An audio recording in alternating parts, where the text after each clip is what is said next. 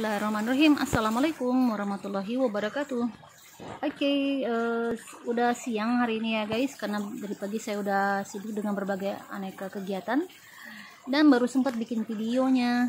Now I have this one interesting intergeneric cross between panda or ex exactly is Rhincorides and cross again with Aerides. Jadi sekarang kita ada jenis anggrek panda masih family panda ataupun kerabat panda guys.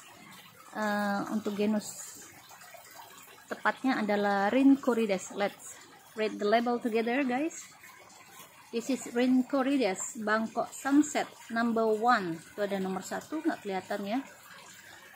Ini adalah silangan intergeneric antara Rhincorides tainoi with Aerides huletiana jadi ini bisa dilihat ya.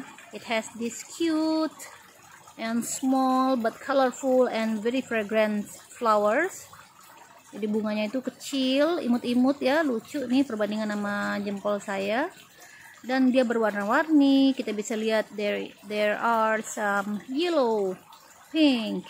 And then you can see that a little bit red or brown here or a little bit orange. Terus apa lagi guys? Ada warna yang pasti warna kuning ya. Dan juga labelumnya yang berwarna pink pink yang muda gitu. Oke okay, gonna show you the plants again. Uh, this, uh, jadi ada silangan dari Rhincorides tainoi sama Aerides huletiana dan ada aroma yang manis banget has a sweet fragrance. Very nice ya karena Aerides huletiana itu terkenal dengan bunganya yang cantik berwarna cerah dan juga aromanya yang segar seperti aroma apa. Let me try to snip on the flower again Hmm, reminds me of some jasmine flower or also combination with rose. Jadi ada aroma seperti bunga melati atau bunga mawar gitu guys. Now let's see the plant. It's actually a mini size of panda. Jadi dia walaupun termasuk ke dalam anggrek panda tapi tergolong ke dalam uh, jenis yang mini karena daunnya lumayan lebih pendek dibanding jenis panda lainnya dan juga tingginya ini hanya kurang lebih setelunjuk saya aja guys dan seperti biasa, jenis panda-pandaan ditanam di pot plastik without any other media, tanpa ada media tambahan apa pun ya. Tapi teman-teman juga boleh kok mau if you want to put a little bit of sphagnum moss here or charcoal or anything, you can do that ya. Boleh-boleh aja ya, nggak masalah guys. Terutama jika teman-teman ada di tempat yang panas gitu, yang sinar mataharinya terik maupun yang bener-bener bikin gerah gitu ya. Boleh-boleh aja ya ditaruh media tambahan lainnya okay guys and it's so cute you know even though it's so small but uh, I love the colorful colorful flowers. And you can also see that in one inflorescence there are bunch of flowers. Jadi bunganya banyak banget guys. Walaupun dia kecil-kecil imut tapi bunganya meriah ya. Karena selain warna-warni tadi tapi juga kuntum bunganya itu banyak banget. You can see that I only have a half of blooming uh, perfectly blooming but uh, still some on on the top are still in unopened buds jadi masih kenopnya masih banyak banget yang belum kurang lebih setengahnya. Jadi bisa teman-teman bayangin ya dia mirip sama anggrek kebutan atau anggrek apa ya namanya yang Ascocentrum miniatum itu di mana dia sekali berbunga meriah banget penuh di satu tangkainya ya.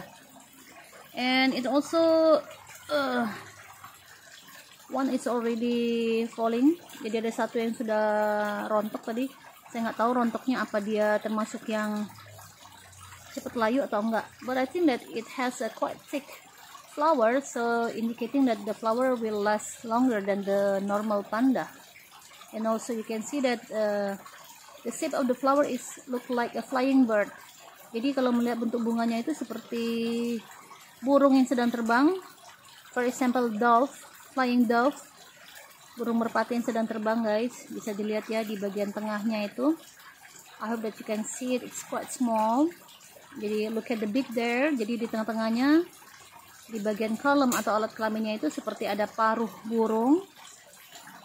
Dan kemudian uh, bagian sipel petalnya looks like a wings. Jadi dia seperti burung yang sedang terbang guys.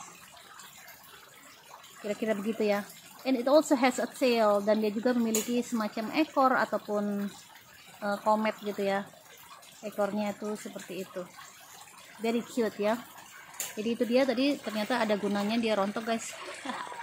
Jadi kita bisa melihatnya dengan lebih jelas lagi ya.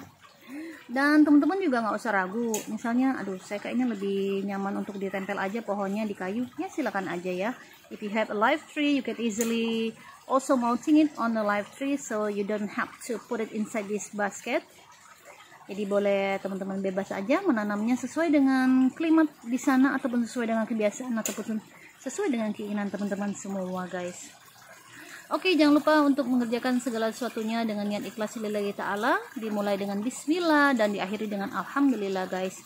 Semoga kita semua bisa mengumpulkan sebanyak mungkin amal soleh sebagai bekal di akhirat nanti ya dengan syarat tadi ya bismillah niat ikhlas lillahi ta'ala dan mengucapkan hamdalah ataupun alhamdulillah di setiap akhir kegiatan guys. Itu aja teman-teman. I hope you have a lovely day. Please keep the spirit. Bye-bye.